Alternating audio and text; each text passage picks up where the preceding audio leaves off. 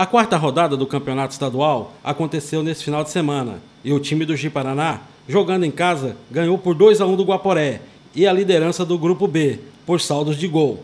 Bebeto falou que a arbitragem teve uma participação expressiva para a derrota do Guaporé neste jogo. Não, foi um bom jogo, onde todos que puderam acompanhar, a nossa equipe se portou muito bem, jogou um bom futebol de qualidade, como todos sempre, né? Trabalhando bem a bola, uma boa articulação no meio campo, com velocidade. Mas só que o futebol hoje não é sempre a equipe visitante que vai sempre procurar sempre fazer o melhor, jogar o melhor futebol.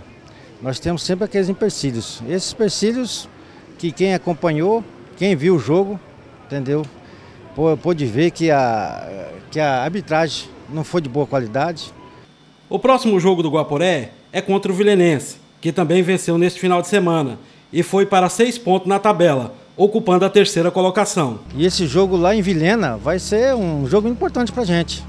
Como você frisou, nós estamos aí com nove pontos, de Paraná com nove pontos, o saldo de gols aí, o de Paraná na frente.